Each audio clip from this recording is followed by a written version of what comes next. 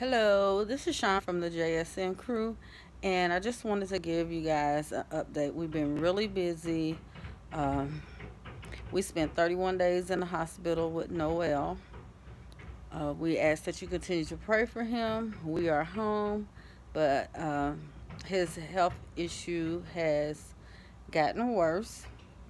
We actually just came back from a doctor's visit where they took out sutures from three places.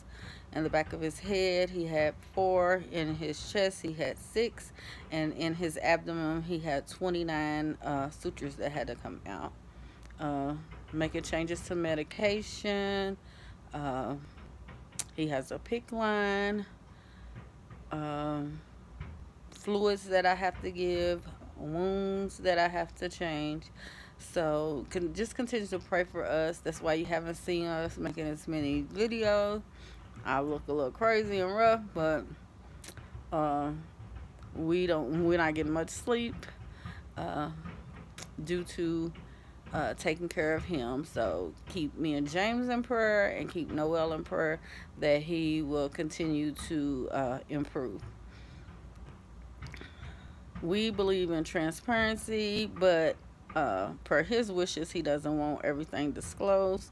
So just just keep him in prayer. Um, it is going to be a uphill battle, and we have uh, a lot going on. You may have seen information that uh, on the way home from our 31 day stay in three different facilities, we were uh, in a car accident. I can't talk about that either.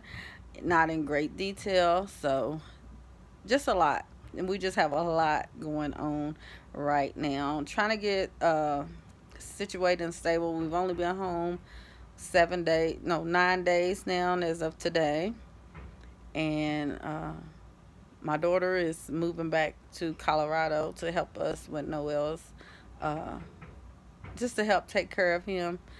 And uh, we have a lot that we have planned to do in this year 2018 so we just want all our subscribers our family and friends any new subscribers to continue to uh, pray for us and uh, we'll be uploading videos uh, we're gonna try to get back to our weekly schedule and that's it